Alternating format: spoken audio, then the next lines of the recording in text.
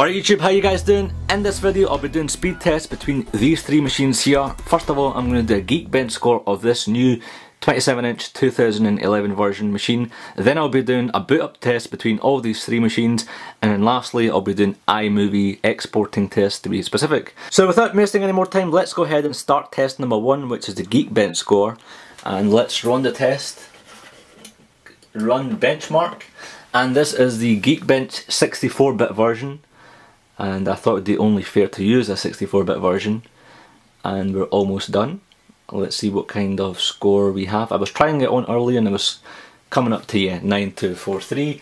Now let's submit this onto their forum or their main HQ and let's compare it with other Macs in the same category or not in the same category but all the Macs in general. Mac benchmark chart and here we go, we've got all kinds and all sorts of Macs shown here. Let's see where our Mac is. There we go guys, this is where the iMac 27 inch stacks up, it stacks up right in between here and we've got the Mac Pro 8 core beneath it and above it we have the Xserve early 2008.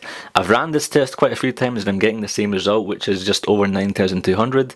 So yeah, that's the Geekbench score out the way and let's move on to test number two. So here are all the three Macs, none of them have any USB devices connected to them, only the power cable, and let's go ahead and put them on. I'm going to put the two iMacs on first, this being the latest one, the 2011, and this being my personal one, and this again being the MacBook Air. I'm going to leave the MacBook Air for a few seconds later because I haven't got three hands. But let's go ahead and put the iMacs on, if my hand will reach. So one, two, three, boom, both of them on, and then the MacBook Air and because of the SSD I expect the MacBook Air to win. And rightly so the Apple logo has showed up on the MacBook Air first despite it um, you know kind of starting up late. And this is all thanks to the SSD so if you are going for an SSD setup you will get you know faster loading up times and opening up applications. There is a premium to pay for SSDs and rightly so Apple charged £380 and there we go, this iMac, the new iMac has started up first, all the icons have loaded up as well. Note, both of these machines have the same user setting, same type of applications, nothing is different, both are a time machine backup of each other. Um, and this iMac is still loading up. Hey, hey, finally! So yeah guys, number one, number two and number three, hey hey. So in this final test I'm going to be exporting the same video on both machines using iMovie. And just to give you an idea of what the exporting differences are like let's go ahead and press export at the same time. And let's see and compare. Let me press this record button. And you can see from your left hand side my own iMac 27 inch is quoting me 24 minutes.